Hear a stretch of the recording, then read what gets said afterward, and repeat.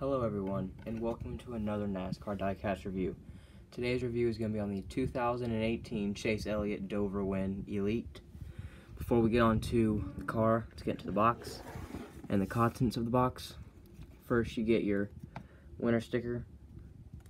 You get your confetti, which they are discontinuing after this year, which is stupid. But whatever, it didn't really do anything for the car. It was just kind of cool. And the uh, stat card. You can pause it right there if you want to read it. They got a better picture this time compared to the uh, first one. And then there's something wrong with this car, with, this um, with the back. It says Elliott cements playoff spot at Dover. He was already in the playoffs. He just got to the next round. So it should have said Elliott cements next round playoff spot. So, I mean, I don't understand why it's like that, but pause it right there again if you want to read it. And the new Elite boxes that suck, in my opinion. Elite.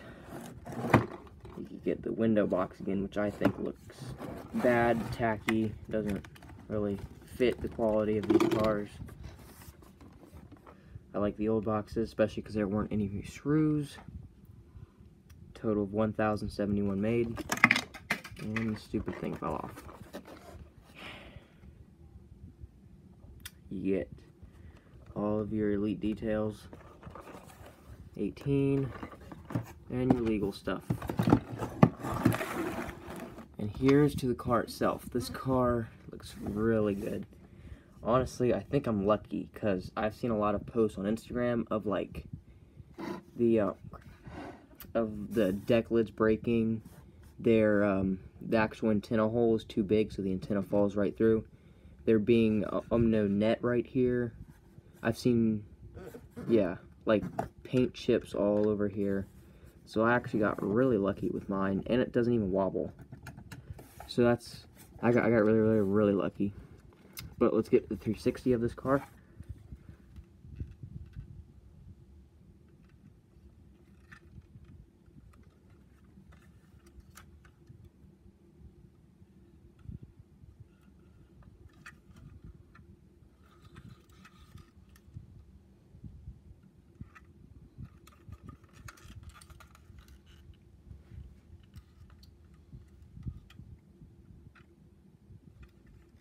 There we go. Let's get to the sponsors. The hood, you have Napa. You got Chevy Camaro ZL1. Hendrick. Got your contingencies and your little emoji for dig. It took me the longest time to, to realize what um, what that was. I was like, DI9? What does that mean? And then uh, I, I found out that, that it was dig, and I was like, oh, that makes sense. Okay, never mind.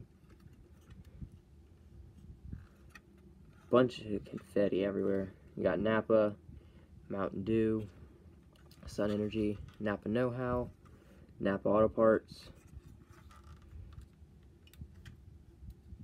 It looks crooked, but whatever. Uh, Napa again on this side, and back to the front. Let's get to the race damage.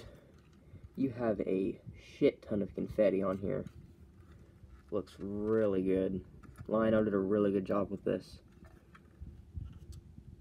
The wheels even look really good. They, they got the brake dust really, really good. I will give them that. A little mark up there. You can actually feel the mark. It's, it's like a different layer of paint, but you can actually feel it.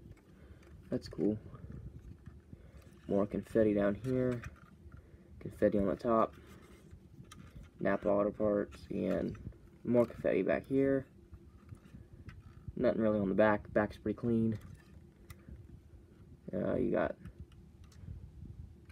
so there's like a